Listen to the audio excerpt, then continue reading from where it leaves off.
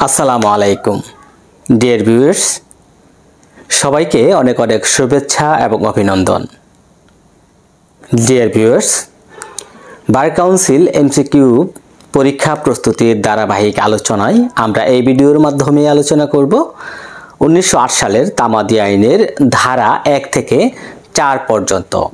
অর্থাৎ ধারা এক থেকে চার পর্যন্ত প্রত্যেকটি ধারার বিশ্লেষণ আমরা এই ভিডিওর মাধ্যমে আলোচনা করব। তো ডিয়ার ভিউয়ার্স আগামীতে যারা বার কাউন্সিল এমসিকিউ পরীক্ষা দেওয়ার জন্য প্রস্তুতি নিচ্ছেন এবং যারা এলএলবি ফাইনাল ইয়ারে অধ্যয়নরত, আজকের এই ভিডিওটি তাদের জন্য অত্যন্ত গুরুত্বপূর্ণ। ডিয়ার ভিউয়ার্স মূল আলোচনা শুরু করার পূর্বে যদি এখনও আমার এই চ্যানেলটি সাবস্ক্রাইব করে না থাকেন, তাহলে অবশ্যই চ্যানেলটি সাবস্ক্রাইব করে নতুন নতুন ভিডিও পেতে পাশে থাকা বেল আইকনটি বাজিয়ে দিতে ভুলবেন না। তো ডিয়ার আমরা কথা না বাড়িয়ে মূল আলোচনা শুরু করব। যেহেতু আজকে তামাদি আইনের ধারা এক থেকে চার পর্যন্ত আলোচনা করব, তাহলে আমরা চলে যাই ধারা এক। তামাদি আইনের এক ধারায় কি বলা হয়েছে? ধারা এক। তামাদি আইনের এক ধারায় বলা হয়েছে সংক্ষিপ্ত সংক্ষিপ্ত শিরোনাম, আরম্ভ ও আওতা সম্পর্কে। আরম্ভ ও আওতা।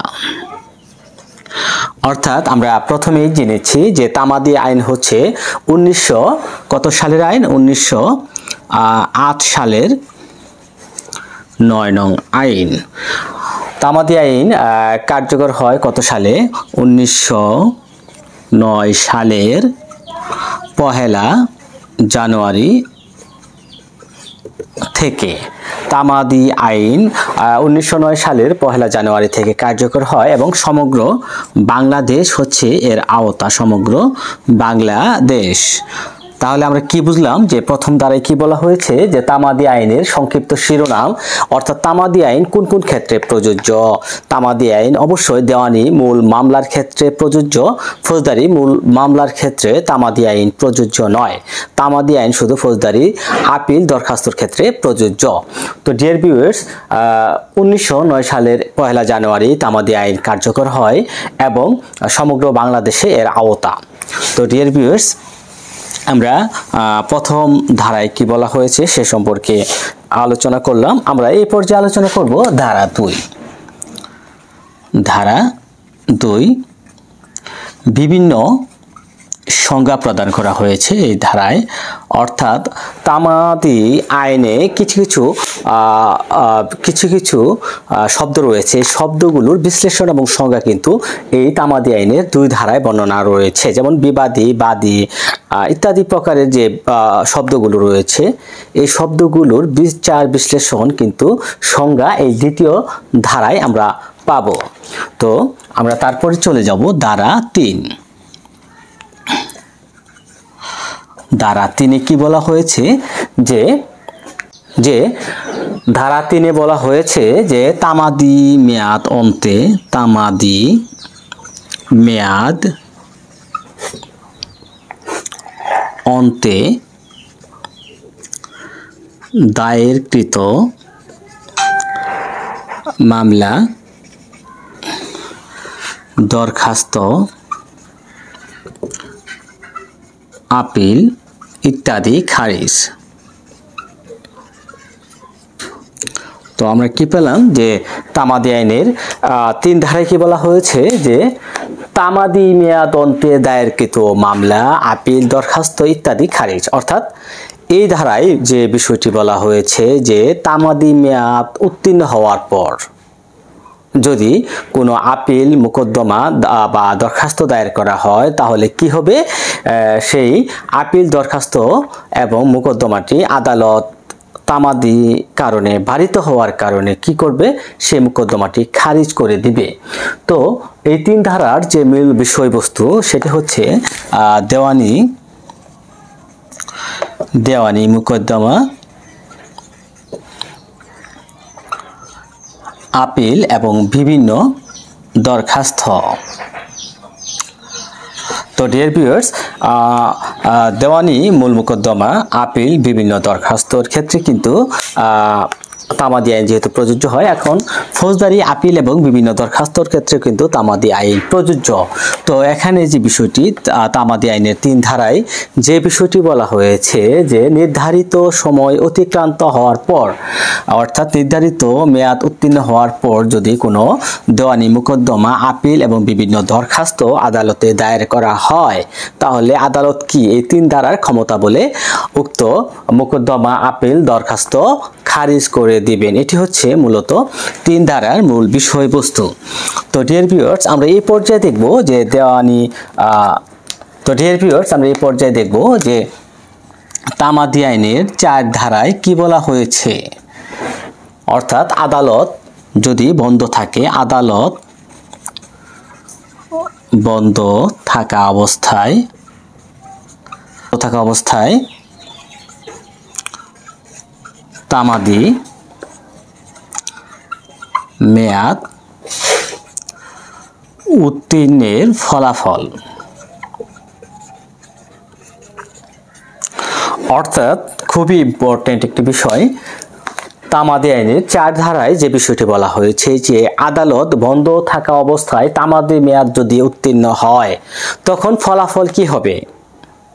অর্থাৎ যদি তামাদি মেয়াদ যেদিন উত্তীর্ণ হবে, সেদিন যদি আদালত বন্ধ থাকে, তখন এর ফলাফল সম্পর্কে তামাদি আইনের চার ধারায় বলা হয়েছে। অর্থাৎ তামাদি মেয়াদ উত্তীর্ণ হওয়ার দিন যদি আদালত বন্ধ থাকে, তাহলে খোলার, অর্থাৎ আদালত যেদিন প্রথম কার্য দিবস, প্রথম খোলার দিন, কিন্তু তামাদি উত্তীর্ণের শেষ দিন বলে গণ্য হবে। আমরা যদি একটি উদাহরণের মাধ্যমে বুঝতে চেষ্টা করি যে এ এর একটি মুকদ্দমার, এ এর একটি মুকদ্দমার কি হলো? মুকদ্দমার তামাদি মেয়াদ হচ্ছে ছয় মাস। তো এই এ যে এ তামাদি মেয়াদ উত্তীর্ণ হওয়ার মেয়াদ ছিল ছয় মাস। তো যেদিন তামাদি মেয়াদ উত্তীর্ণ হবে, সেদিন ছিল সরকারি ছুটি। যদি আমি, আমরা ধরি যে ফেব্রুয়ারি মাসের ফেব্রুয়ারি মাসের একুশ, বাইশ, তেইশ তারিখ সরকারি যে কোনো কারণে ছুটি হলো, তো তামাদি মেয়াদ উত্তীর্ণ হওয়ার হওয়ার শেষ দিন ছিল একুশ তারিখ। তো একুশ তারিখ বন্ধ, বাইশ তারিখ বন্ধ, তেইশ তারিখ বন্ধ। এখন এই যে চব্বিশ তারিখ এই তামাদি আইনের চার ধারার বিধান মতো, এই যে চব্বিশ তারিখ, এই চব্বিশ তারিখ হবে এ এর মোকদ্দমার তামাদির শেষ দিন। অর্থাৎ এ চব্বিশ তারিখ যদি আদালত খোলা থাকে, আদালত খোলা থাকে, তাহলে এই যে চব্বিশ তারিখ আদালত খুললো, এই চব্বিশ তারিখ কি করবে? এ এর তামাদির মেয়াদের শেষ দিন বলে গণ্য হবে। অর্থাৎ আমরা কি বুঝলাম? যে যেদিন আদালত বন্ধ থাকে, সেদিন যদি তামাদি মেয়াদ উত্তীর্ণের শেষ দিন হয়, তাহলে প্রথম কার্য দিবস, খোলার প্রথম কার্য দিবসই হবে তামাদি মেয়াদ উত্তীর্ণের শেষ দিন। তো ডিয়ার ভিউয়ার্স তো আমরা দ্বারা এক থেকে চার পর্যন্ত কি আলোচনা করলাম? যে দ্বারা একে বলা হয়েছে যে সংক্ষিপ্ত শিরোনাম, আরম্ভ এবং আওতা, অর্থাৎ তামাদি আইন, উনিশশো আট সালের আইন, এই আইনটি সমগ্র বাংলাদেশে কার্যকর বা প্রযোজ্য হবে এবং তামাদি আইন উনিশশো নয় সালের পহেলা জানুয়ারি থেকে কার্যকর হয়। তো দ্বিতীয় ধারায় বিভিন্ন রকম শব্দের সংজ্ঞা প্রদান করা হয়েছে, বিশ্লেষণ করা হয়েছে। তিন ধারায় কি বলা হয়েছে? যে তামাদি মেয়াদ অন্তে দায়েরকৃত মোকদ্দমা, দরখাস্ত, আপিল ইত্যাদি খারিজ। অর্থাৎ তামাদি মেয়াদ উত্তীর্ণ হওয়ার পর যদি আদালত কোনো মোকদ্দমা, আপিল দরখাস্ত দায়ের করে, তাহলে আদালত তামাদি আইনে তিন ধারার ক্ষমতা বলে উক্ত দরখাস্ত, মোকদ্দমা, আপিল খারিজ করে দিবেন। চার কি বলা হয়েছে? চার বলা হয়েছে যে আদালত বন্ধ থাকা অবস্থায় তামাদি মেয়াদ উত্তীর্ণের ফলাফল, অর্থাৎ যেদিন আদালত বন্ধ থাকবে, সেদিন যদি তামাদি মেয়াদ উত্তীর্ণের শেষ দিন হয়, তাহলে আদালত খোলার প্রথম কার্য দিবস হবে তামাদি মেয়াদ উত্তীর্ণের শেষ দিন বলে গণ্য হবে। তো ডিয়ার ভিউয়ার্স, আমরা তামাদি আইনের ধারাবাহিক আলোচনায় আজকে এই পর্বে এক থেকে চার পর্যন্ত আলোচনা করলাম। আরেকটি বিষয় তামাদি আইনের কিন্তু পাঁচটি অধ্যায় রয়েছে। অধ্যায় কয়টি? পাঁচটি। তো তামাদি আইনের পাঁচটি অধ্যায়ের মধ্যে প্রথম অধ্যায় কিন্তু এক এবং দুই নং ধারা নিয়ে আলোচনা করলাম। তো আমরা দ্বিতীয় অধ্যায়ের দুই এবং চার নং ধারা আলোচনা করলাম। তো পরবর্তী ভিডিওতে আমরা আগামী ভিডিওতে তামাদি বিলম্ব মৌকুফ দ্বারা পাঁচ এবং ছয় নিয়ে আলোচনা করব। পাঁচ এবং ছয় আগামী পর্বে আলোচনা আপনাদেরকে দেখার আমন্ত্রণ জানিয়ে আজকের মতো বিদায় নিব।